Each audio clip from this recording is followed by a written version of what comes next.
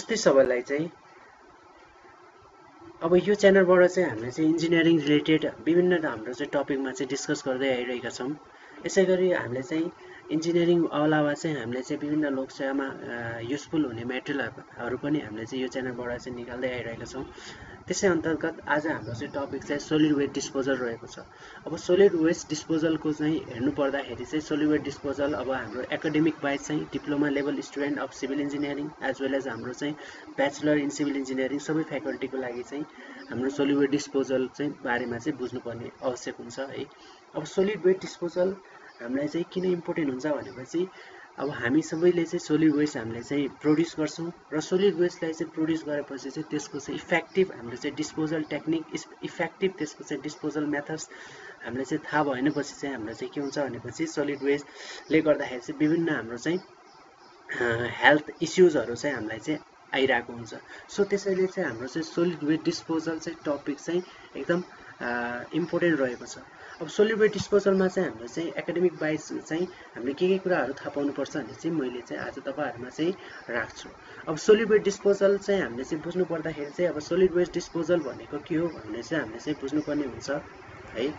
Solid disposal भनेको के हो त भनेपछि अब हामीले चाहिँ कम्युनिटीबाट चाहिँ विभिन्न सोलिड वेस्ट आइरहेको हुन्छ र त्यो सोलिड वेस्ट द्याट मेबी तपाईँहरूको चाहिँ अर्ग्यानिक हुनसक्छ इनअर्ग्यानिक हुनसक्छ मेबी तपाईँहरूको कम्बस्टिबल हुनसक्छ अर इट मेबी इनकम्बस्टिबल हुनसक्छ। त्यो सबै वेस्टलाई चाहिँ हामीले चाहिँ एउटा चाहिँ इफेक्टिभ वेमा चाहिँ त्यसलाई चाहिँ प्रोपरली डिस्पोज गर्ने युजिङ सर्टेन प्रिक्वेसन्स त्यो नै तपाईँहरूको के हुन्छ सोलिड डिस्पोजल अन्तर्गत अन्तर्गतमा पर्छ। र तपाईँहरूको सोलिड वेस्टमा चाहिँ हामीले चाहिँ क्लासिफाई गर्दाखेरि चाहिँ इट मेबी तपाईँहरूको सोलिड वेस्टलाई चाहिँ गार्बेज अन्तर्गत पनि राख्न सक्छ अथवा तपाईँहरूको चाहिँ एसएस अन्तर्गत राख्न सक्छ अथवा तपाईँहरूको चाहिँ रबिस अन्तर्गत राख्न सक्छ। यसै गरी तपाईँहरूको चाहिँ सोलिड वेस्टलाई चाहिँ डिस्पोज गर्नुभन्दा अगाडि हामीले चाहिँ सर्टेन त्यसलाई चाहिँ कलेक्सन गर्नुपर्ने हुन्छ र कलेक्सन गरेपछि त्यसलाई चाहिँ सर्टेन इफेक्टिभली हामीले चाहिँ ट्रान्सपोर्टेसन गर्नुपर्ने हुन्छ। अब कलेक्सन र तपाईँहरूको चाहिँ ट्रान्सपोर्टेसन गर्नलाई चाहिँ हामीले कसरी गर्ने त भनेपछि अब हामीले चाहिँ हाउस बेसिसमा चाहिँ इन्डिभिजुअल हाउस होल्डबाट चाहिँ हाम्रो सोलिड वेस्ट प्रड्युस हुन्छ।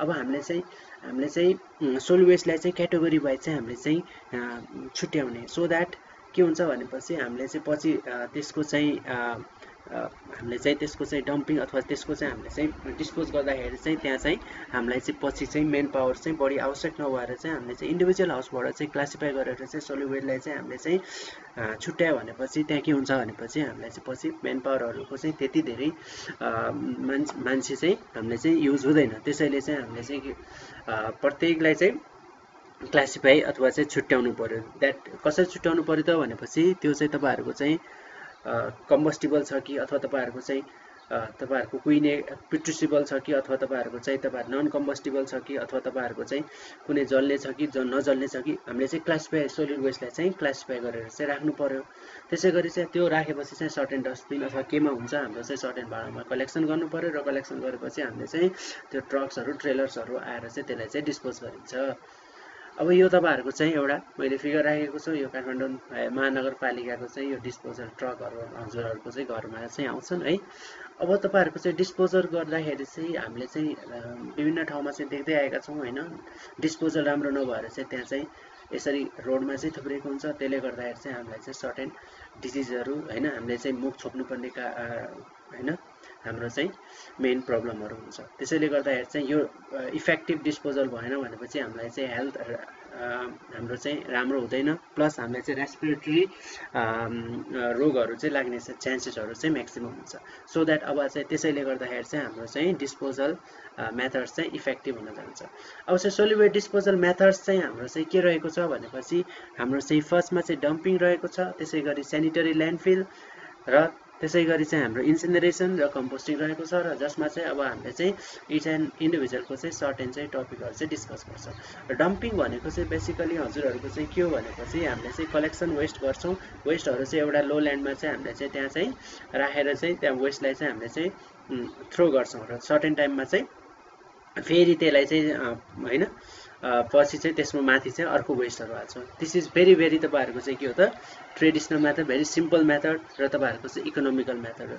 तर चाहिँ तपाईँहरूको चाहिँ म्याक्सिमम् यसको डिसएडभान्टेजेस के हुन जान्छ भनेपछि it is very unhygienic system of solid waste disposal अब तपाईँहरूले चाहिँ यस्तो तपाईँहरूले चाहिँ रोडहरूमा अथवा कुनै कुनै ठाउँमा तपाईँहरूले देख्नै भएको छ। यो तपाईँहरूको चाहिँ डम्पिङ हो। यो डम्पिङ तपाईँहरूको चाहिँ इफेक्टिभली भएन भनेपछि त्यहाँ चाहिँ हेल्थ हजार्ड र तपाईँहरूको हेल्थमा चाहिँ इस्युजहरू आउने चाहिँ चान्सेसहरू चाहिँ म्याक्सिमम् हुन जान्छ। अब चाहिँ तपाईँहरूको चाहिँ कतिखेर तपाईँहरूले यस्तो पनि देख्नुभयो होला जस्तै तपाईँहरूको चाहिँ यस्तो देख्नुभयो होला के भन्छ भनेपछि सोलिड तपाईँहरूको चाहिँ सोलिड वेस्ट डम्प गर्यो। डम्प गरेपछि सबै तपाईँहरूको चाहिँ कुहिनेहरू चाहिँ त्यहाँ चाहिँ तपाईँहरूको चाहिँ कुहिन्छ र तपाईँहरूको चाहिँ यहाँ प्लास्टिकहरू चाहिँ यदि नन डिकम्पोजेबल सब्सटान्सेस छ भनेपछि रेजिड्यूको रूपमा चाहिँ त्यहीँ बसिरहेको हुन्छ त्यसले चाहिँ तपाईँहरूको चाहिँ इन्भाइरोमेन्ट पोल्युसनलाई इन्भाइरोमेन्टको पोल्युसनलाई चाहिँ कन्ट्रिब्युट गर्ने चाहिँ मेन एजेन्ट हुन्छ। सो त्यसलाई चाहिँ अब हामीले चाहिँ यसरी त राख्नु भएन। सो यसको चाहिँ इफेक्टिभ योभन्दा पनि अब यस्तो यसलाई चाहिँ हामीले चाहिँ एउटा एनदर मेथडले चाहिँ हामीले चाहिँ यसलाई चाहिँ ओभरकम गर्न सक्छौँ। त्यसको मेथडको नाम रहेको छ तपाईँहरूको चाहिँ सेनिटरी ल्यान्डफिल अब सेनिटरी ल्यान्डफिल भनेको के हो भनेपछि यो चाहिँ तपाईँहरूको चाहिँ डम्पिङ मेथड नै हो तर डम्पिङ मेथडको चाहिँ improve version method improve version हो र तपाईँहरूको चाहिँ यो चाहिँ तपाईँहरूको चाहिँ डम्पिङ मेथड भन्दा चाहिँ अलि हाइजेनिक रहेको छ। र यसमा चाहिँ हामीले चाहिँ लो लाइङ एरियाजहरूलाई चाहिँ रिक्लेम पनि गर्न सक्छौँ है। यो मेथड गर्दाखेरि चाहिँ तपाईँहरूको चाहिँ लो लाइङ एरियाजमा चाहिँ हामीले चाहिँ डम्प नै गर्ने हो र यसमा चाहिँ डम्पिङ तपाईँहरूको चाहिँ एक दुई एकदेखि दुई मिटरमा चाहिँ हामीले डम्प गर्ने हो र डम्प गरेपछि त्यसमा चाहिँ बिस सेन्टिमिटर गुड अर्थले चाहिँ त्यसलाई चाहिँ ढकिदिने हो र त्यसपछि चाहिँ हामीले चाहिँ एक दुई विकमा चाहिँ आएर चाहिँ फेरि तपाईँहरूले चाहिँ त्यहाँ डम्प गरिदिन्छौँ। सो अरू फेरि चाहिँ एउटा लेयर डम्प गरेपछि चाहिँ हामीले चाहिँ त्यसलाई चाहिँ राम्ररी कम्प्याक्ट गर्नुपर्ने हुन्छ होइन? र तपाईँहरूको चाहिँ त्यो कम्प्याक्सन गरेपछि त्यहाँ चाहिँ त्योभित्र चाहिँ हाम्रो चाहिँ रियाक्सन हुन्छ ब्याक्टेरियाहरू ग्रो हुन्छ ब्याक्टेरियाले चाहिँ त्यसलाई चाहिँ डिकम्पोज गर्न चाहिँ स्टार्ट गर्छ। ठिक छ? यसै गरी तपाईँहरूको चाहिँ यो एउटा फिगर चाहिँ राखेको छु। यसमा चाहिँ तपाईँहरूको चाहिँ यो बन्जरे डाँडा यो बन्जरे डाँडामा रहेको चाहिँ नुवाकोट र धादिङको चाहिँ बर्डरमा रहेको चाहिँ ल्यान्डफिल्ड साइडको चाहिँ इमेज हो है। अब यसको एडभान्टेजेसहरू चाहिँ हेर्दाखेरि चाहिँ यो चाहिँ एकदम सिम्पल छ कस्टलियर छैन है। र तपाईँहरूको चाहिँ सेपरेसनहरू चाहिँ रिक्वायर्ड हुँदैन। जस्तो हाम्रो कम्पोस्टिङमा चाहिँ सेपरेसन गर्नुपर्ने हुन्छ भने चाहिँ यसमा चाहिँ गर्नु पर्दैन।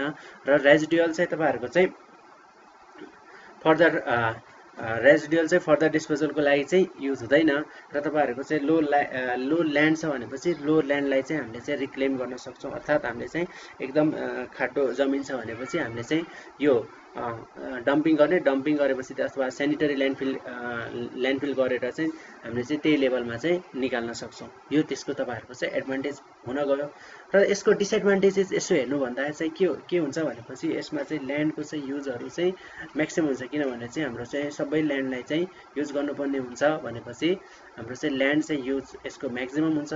र यसले चाहिँ तपाईँहरूको चाहिँ के गर्छ त भनेपछि फल स्मेलहरू नुसेन्सहरू चाहिँ त्यो साइडमा चाहिँ एकदम तपाईँहरूको चाहिँ बढाइदिन्छ र तपाईँहरूको चाहिँ त्यो त्यो सोइललाई चाहिँ हामीले चाहिँ ढकेर चाहिँ त्यसमा चाहिँ माथि गुड अर्थले चाहिँ त्यसलाई कभर गर्नुपर्ने हुन्छ। तर चाहिँ त्यो कभर गर्ने सोइल चाहिँ यदि हामीले चाहिँ राम्रो भेटेन भनेपछि then there will be another problem र त्यसै गरी तपाईँहरूको चाहिँ फ्लाइ न्युसेन्सहरू होइन गन्ध नआउन दिनलाई चाहिँ हामीले इन्सेक्टिसाइड युज गर्नुपर्ने हुन्छ र त्यसले पनि त्यसलाई चाहिँ कस्ट वाइज चाहिँ सर्टेन एडिसन चाहिँ हाम्रो चाहिँ गर्छ। र यो चाहिँ इमेज चाहिँ सिस्टोल सेनिटरी ल्यान्डफिल साइटको हो that is located Nuwakot Okharpauwa है यसमा चाहिँ तपाईँहरूको जाइकाको प्रोजेक्ट हो यो चाहिँ तपाईँहरूको चाहिँ यसको चाहिँ हेडिङ बोर्डमा चाहिँ उसको चाहिँ सबै डिस्क्रिप्सन चाहिँ लेखिदिएको छ। जसरी भ्याली वान भ्याली टू गरेर चाहिँ र कहाँनिर चाहिँ लिचा ट्रिटमेन्ट प्लान्ट छ त्यहाँ चाहिँ बारेमा चाहिँ उसले चाहिँ उल्लेख गरेको छ।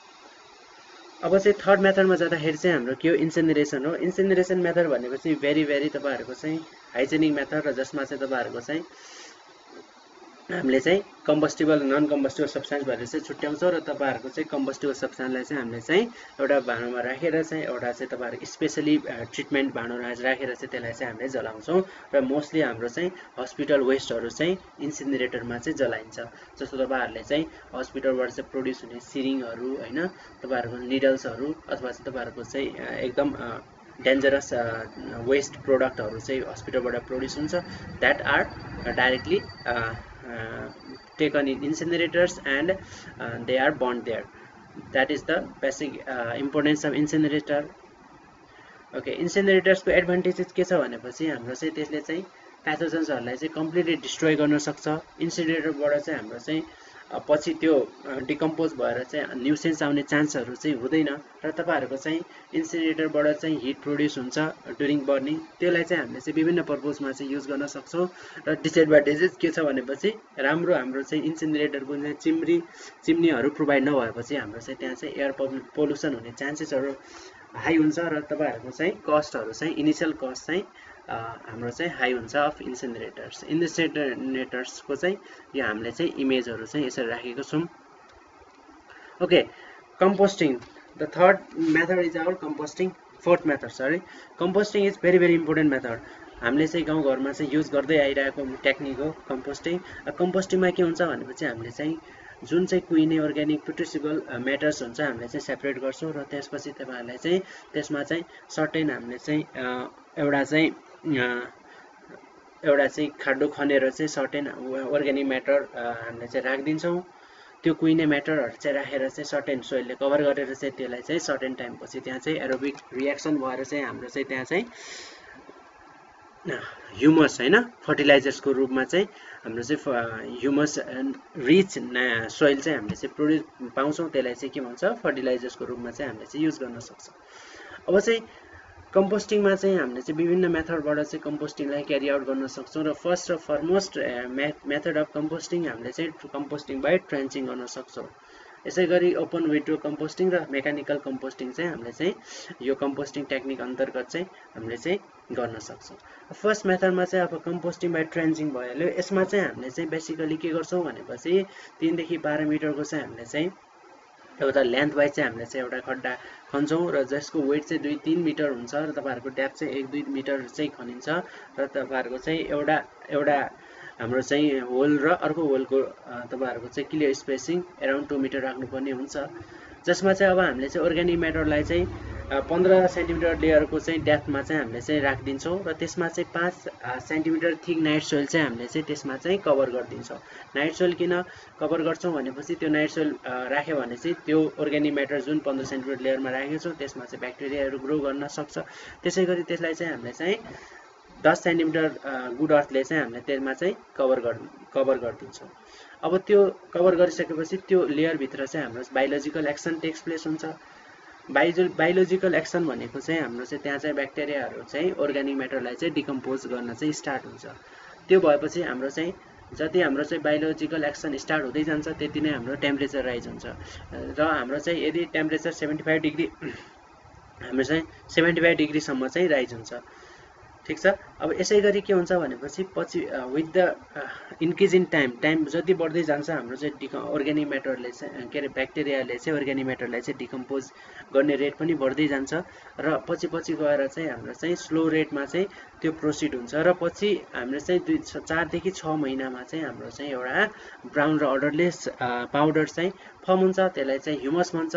त्यसलाई नै हामीले चाहिँ नेपाली भाषामा चाहिँ कम्पोस्ट मल भनेर चाहिँ जान्छौँ। यसमा चाहिँ फिगरमा चाहिँ हेर्नुहोस् त यो एउटा लामो लेन्थ वाइज चाहिँ हामीले चाहिँ खड्डा लिएको छौँ जसमा चाहिँ तिनदेखि अब यो हाम्रो चाहिँ डाइमेन्सन चाहिँ अघि नै भइसकेको छ। यस्तो खड्डामा चाहिँ हामीले चाहिँ अर्ग्यानिक म्याटर राख्छौँ। अर्ग्यानिक म्याटर पछि हामीले चाहिँ नाइट सोइल अथवा काउडङले चाहिँ त्यसलाई कभर गरिदिन्छौँ। त्यसपछि हामीले चाहिँ हामीले चाहिँ त्यसमाथि चाहिँ गुड अर्थले चाहिँ कभर गरिदिन्छौँ र त्यसमा चाहिँ हाम्रो चाहिँ अर्ग्यानिक रियाक्सन्सहरू टेक्स प्लेस हुन्छ। त्यसै गरी यसै हाम्रो चाहिँ सेकेन्ड मेथड के रहेको छ भनेपछि ओपन विड्रो कम्पोस्टिङ जसमा चाहिँ ओपन विड्रो कम्पोस्टिङ तपाईँहरूको चाहिँ सिमिलर हुन्छ बायोलोजिकल एक्सन नै टेक्स प्लेस हुने हो जसमा चाहिँ के गरिन्छ भनेपछि अर्ग्यानिक र प्रोट्युसिबल म्याटरलाई चाहिँ एउटा ठाउँमा चाहिँ डम्प गरिन्छ। अब अघि नैको जस्तो हामीले चाहिँ खड्डा खन्न परेन। हामीले ग्राउन्ड लेभल नैमा चाहिँ के गरिदिन्छौँ त्यसलाई चाहिँ डम्प गरिदिन्छौँ र डम्प गर्दाखेरि चाहिँ अब चाहिँ हामीले त्यसको चाहिँ डम्पिङ हाइट कति राख्ने होइन लेन्थ कति राख्ने त्यसको ब्रेथ कति राख्ने भनेपछि जेरो पोइन्ट सिक्सदेखि चाहिँ एक मिटरसम्म त्यसको हाइटमा चाहिँ डम्प गरिदिने लेन्थ चाहिँ तपाईँहरूको सिक्स मिटर र ब्रेथ चाहिँ एक दुई मिटर राखेर चाहिँ हामीले चाहिँ डम्प गरिदिने र त्यसमा चाहिँ सर्टेन मोइस्चर कन्टेन्ट हामीले चाहिँ पानीको पनि आवश्यकता पर्छ। त्यसपछि त्यसको त्यो सब्सटान्समा चाहिँ हामीले चाहिँ के गरिदिने भनेपछि एनिमल डङ अनि तपाईँहरूको चाहिँ नाइट सोइलले चाहिँ त्यसलाई चाहिँ कभर गरिदिने। त्यो कभर गरिसकेपछि अर्ग्यानिक म्याटरमा चाहिँ त्यहाँ चाहिँ हाम्रो चाहिँ रियाक्सन्स टेक्स प्लेस हुनसक्छ होइन? एरोबिक रियाक्सन अथवा एरोबिक रियाक्सनहरू टेक्स प्लेस हुनसक्छ अथवा एनएरोबिक रियाक्सन टेक्स प्लेस हुनसक्छ। त्यसले चाहिँ गर्दा के हुन्छ भनेपछि टेम्परेचर हाम्रो चाहिँ राइज हुन्छ। अब हाम्रो चाहिँ के हुन्छ भनेपछि त्यहाँ चाहिँ एयर सर्कुलेसन प्रोभाइड गर्नलाई चाहिँ हामीले सर्टेन ब्याम्बोहरू पनि इन्सर्ट गर्नुपर्ने हुन्छ। र चाहिँ यदि हाम्रो चाहिँ त्यहाँ चाहिँ टेम्परेचर सेभेन्टी डिग्रीभन्दा चाहिँ कम भइहाल्यो भनेपछि हाम्रो चाहिँ त्यहाँ चाहिँ ब्याक्टेरिया ग्रो हुन सक्दैन। यसैले चाहिँ हाम्रो चाहिँ टेम्परेचर इम्पोर्टेन्ट भएर जान्छ है? र हामीले चाहिँ पिएच अथवा टेम्परेचरलाई चाहिँ एडजस्ट गर्नलाई चाहिँ त्यहाँ हाम्रो चाहिँ मोइस्चर कन्टेन्टलाई पनि हामीले चाहिँ एडजस्ट गर्नुपर्ने हुन्छ। र अब तपाईँहरूको के हुन्छ भनेपछि जति जति तपाईँहरूको चाहिँ डिकम्पोजेबल मेटेरियलहरू हुँदै जान्छ त्यहाँ चाहिँ एरोबिक ब्याक्टेरिया अथवा तपाईँहरूले चाहिँ एरोबिक ब्याक्टेरियाले चाहिँ डिकम्पोज गर्दै जान्छ र हाम्रो चाहिँ त्यहाँ चाहिँ टेम्परेचर राइज हुँदै जान्छ। यदि तपाईँहरूको चाहिँ टेम्परेचर राइज सेभेन्टी डिग्रीभन्दा कम भइहाल्यो भनेपछि हाम्रो ब्याक्टेरिया ग्रो हुँदैन र सेभेन्टी डिग्रीभन्दा माथि भएको भए चाहिँ त्यहाँ चाहिँ के हुन्छ हाम्रो डिकम्पोजन हुँदैछ भन्ने हामीले बुझ्नुपर्ने हुन्छ। यदि हाम्रो चाहिँ एउटा पोइन्टमा चाहिँ त्यहाँ चाहिँ के भयो भनेपछि टेम्परेचर राइज भएन भनेपछि हामीले के थाहा हुनुपर्छ भनेपछि अब चाहिँ सबै डिकम्पोज भइसकेको छ। होइन? हाम्रो चाहिँ सबै मेटेरियल डिकम्पोज भइसकेको छ भन्ने चाहिँ बुझ्नुपर्ने हुन्छ र त्यसपछि हामीले चाहिँ त्यसलाई चाहिँ फेरि हामीले चाहिँ त्यसलाई इन्सपेक्सन गरेर चाहिँ फर्टिलाइजरलाई चाहिँ हामीले चाहिँ निकाल्न सक्छौँ है? यो हाम्रो चाहिँ ओपन विड्रो कम्पोस्टिङमा हो जसमा चाहिँ हामीले चाहिँ ग्राउन्ड लेभलमै हामीले चाहिँ कम्पोस्टिङ गर्छौँ र त्यसमा सर्टेन ब्याम्बुजहरू एयर सर्कुलेसनको लागि चाहिँ प्रोभाइड गरिन्छौँ है? यसै गरी हाम्रो थर्डमा चाहिँ मेकानिकल कम्पोस्टिङ छ। यो पनि तपाईँहरूको चाहिँ प्रोसेस सिमिलर नै हो तर चाहिँ हामीले चाहिँ मेकानिकल डिभाइसहरू युज गरेर चाहिँ यसलाई चाहिँ कम्पोस्टिङका रूपमा चाहिँ हामीले प्रयोग गर्न सक्छौँ। है अब हाम्रो चाहिँ मेन डिसएडभान्टेजेस भनेर चाहिँ ओपन विड्रो कम्पोस्टिङको चाहिँ के थियो भनेपछि त्यसमा चाहिँ एरिया अकुपेसन एरिया अकुपाइड चाहिँ त्यसमा चाहिँ बढी थियो भनेपछि अब मेकानिकल कम्पोस्टिङमा चाहिँ हामीले चाहिँ कम एरियामै हामीले चाहिँ बढी चाहिँ बढी चाहिँ हामीले चाहिँ कम्पोस्टिङ टेक्निकहरू कम्पोस्टिङ गर्न सक्छौँ। सो कम्पो मेकानिकल कम्पोस्टिङ पनि हाम्रो चाहिँ इम्पोर्टेन्ट भएर जान्छ। यो त यसको चाहिँ प्रिन्सिपल सेम नै हो। सोलिड वेस्ट तपाईँहरूको चाहिँ तिनदेखि सात दिनमा नै स्टेबलाइज हुन्छ र तपाईँहरूको चाहिँ मोइस्चर कन्टेन्ट एडजस्ट गर्नलाई चाहिँ सर्टेन स्प्रेयरहरू त्यहाँ चाहिँ प्रोड्युस हुन्छ र यसको डिसएडभान्टेजेस भने के छ भनेपछि यो चाहिँ इनिसियल कस्ट यसको यसको मेन्टेनेन्स कस्ट यसको तपाईँहरूको चाहिँ मेकानिकल डिभाइस युज गर्नु भएर चाहिँ कस्टलियर नै यो प्लान्ट चाहिँ कस्टलियर हुन्छ। यसको फिगर हेर्दाखेरि चाहिँ हाम्रो चाहिँ यस्तो मेकानिकल कम्पोस्टिङ मेसिनहरू हुन्छ जसमा चाहिँ हामीले चाहिँ सर्टेन अर्ग्यानिक मेटरलाई चाहिँ हामीले चाहिँ सेपरेट गरेर चाहिँ यो भित्र चाहिँ हामीले चाहिँ यसलाई चाहिँ राखिदिन्छौँ र यसमा चाहिँ मोइस्चरलाई चाहिँ मिलाउनलाई चाहिँ हामीले चाहिँ के गर्छौँ भनेपछि यहाँ स्पेयरहरू चाहिँ प्रड्युस गरिदिन्छौँ। अब हाम्रो चाहिँ यति नै हो साथीहरू। तपाईँहरूलाई चाहिँ यो भिडियो कस्तो लाग्यो है? तपाईँहरूले चाहिँ राम्रो लागेछ भनेपछि तपाईँहरूले चाहिँ लाइक गरिदिनुहोस् र आफ्नो साथीहरूमा चाहिँ सेयर गरिदिनुहोस् र तपाईँहरूले चाहिँ यो च्यानललाई चाहिँ सब्सक्राइब पनि गरिदिनुहोस् र हस् त तपाईँहरूलाई चाहिँ धन्यवाद फर वाचिङ दिस भिडियो